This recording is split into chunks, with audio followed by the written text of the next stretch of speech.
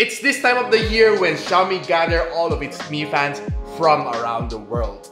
And it's an annual thing where Xiaomi really give back to their fans. And I'm really thankful to be able to receive this special mystery box for the Mi Fan Festival 2021. So let's open it and we can see the Mi Fan Festival logo inside. Really nice box. So taking a look inside, we have my favorite Xiaomi logo and of course the traditional postcard which says Hi Mitch 002. Yes, that's me. Mi Fan Festival is here.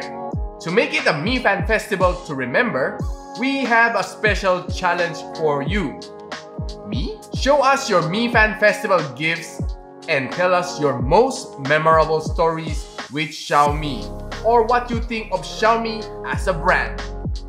Team Xiaomi. And of course, I want to show you the surprise inside this box. And here is the special edition Mi 65 watts fast charger with GaN Tech. And the next one inside probably is the highlight of this festival. The Redmi Note 10 Pro Mi Fan Festival 2021 edition. Let's open it. So open in the box and we can see it's really, really small. This is probably one of the fastest charger at this size. The 65 watts GaN charger from Xiaomi. And right now we're going to open this one, the highlight. And everybody's probably excited to look at this one. And here we go, opening this box. Oh my. There's a postcard. And it's an MFF postcard with MFF stickers. Oh my gosh, this definitely is a collector's edition. The traditional case, USB Type-C cable, 33 watts fast charger. And of course, the MFF designed Redmi Note 10 Pro.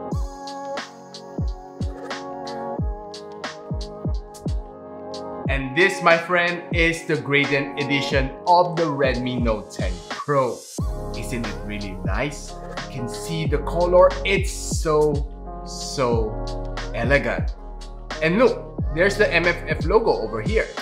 What I really like about this phone is definitely the camera. It's 108 MP, which is probably the first from the Redmi Note series. And another thing that I love about this one is that it still has the 3.5mm audio jack intact on this phone, plus the side-mounted fingerprint scanner is already rounded. The 3D curved glass at the back is really, really nice to look at, and I love the way that it's designed this time around. Now to show you some awesome photos that I've taken with this phone, check these out.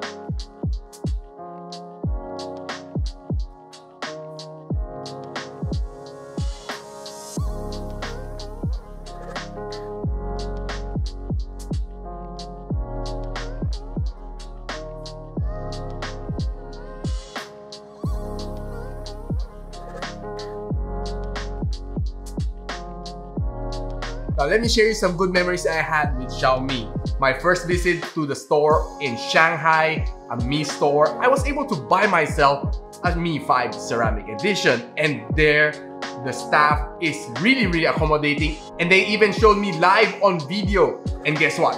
CEO Lei Jun even gave me a thumbs up. Not bad for a Mi fan like me.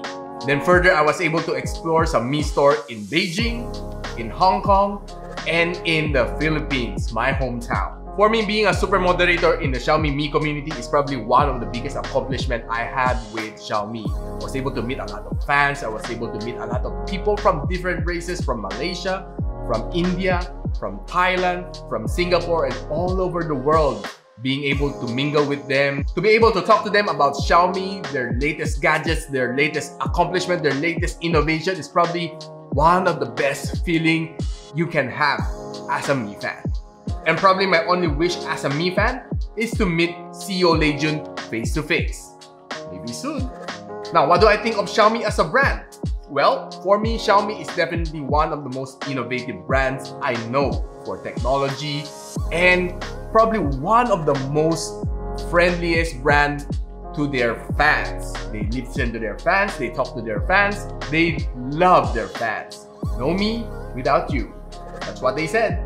So if you want to know more about me and my Xiaomi gadget reviews, do check me out on YouTube at Xiaomi Review and I hope to catch you on the next one.